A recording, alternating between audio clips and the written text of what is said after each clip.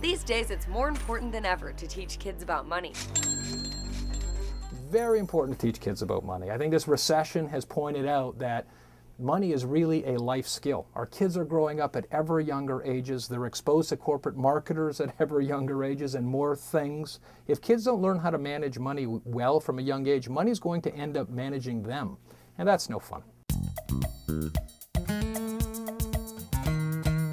That's why father of six Anton Simunovic started 3jars.com, a site that helps parents manage their child's allowance and helps kids learn about money. What we do at Three Jars is we make it fun and easy for kids to learn how to manage their money.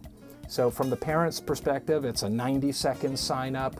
They decide how much allowance they're going to pay a child how much should be earmarked to each of the three jars the spend, the save, and the share jar. They could upload a photo of their child if they want, and away they go.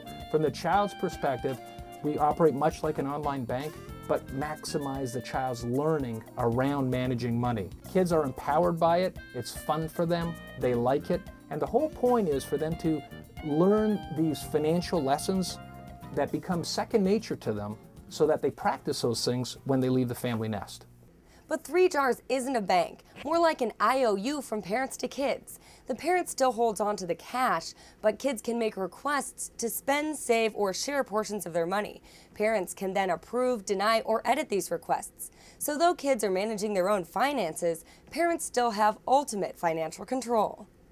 And Anton has five allowance tips to help you get started. The first one that many ask is how much to pay. What a conventional rule of thumb is your child's age in dollars per week. I'll tell you, in an environment like this, so you may want to do half of your child's age in dollars per week. Next, be consistent. It's really important to be consistent with allowance, and that's a difficult thing to do in practice. We come home on a Friday night, we're tired, we don't have the exact change as it were. $3 can seem trite to a parent, but it's your child's source of income. Treat it with the respect that it deserves. Tip number three, practice makes perfect. It's important that we allow our kids to practice money. Well, what does that mean? We take it for granted if we want our kids to be great athletes that they have to work hard, they have to practice a lot. It's no different with money. It's best that kids practice with small amounts of money and when the consequences are low, when they're young, rather than when they leave the family nest and can really get themselves into some trouble. The fourth is to embrace technology.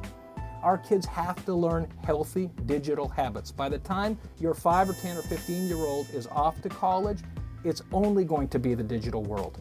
You can use technology to tweak your child's money behaviors. For example, if your child is a spender, and so many kids are, increase their save allocation.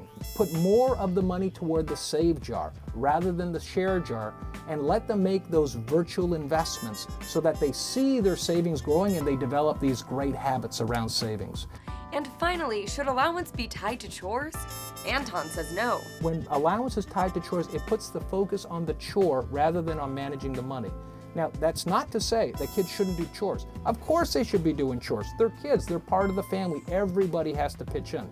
But to monitor those chores rather than using money to ensure that they're done, you know, consider taking away other privileges, cell phone privileges, television privileges, or otherwise. And I found that, you know, we have found that to be much more effective. For more allowance help, just visit www.3jars.com.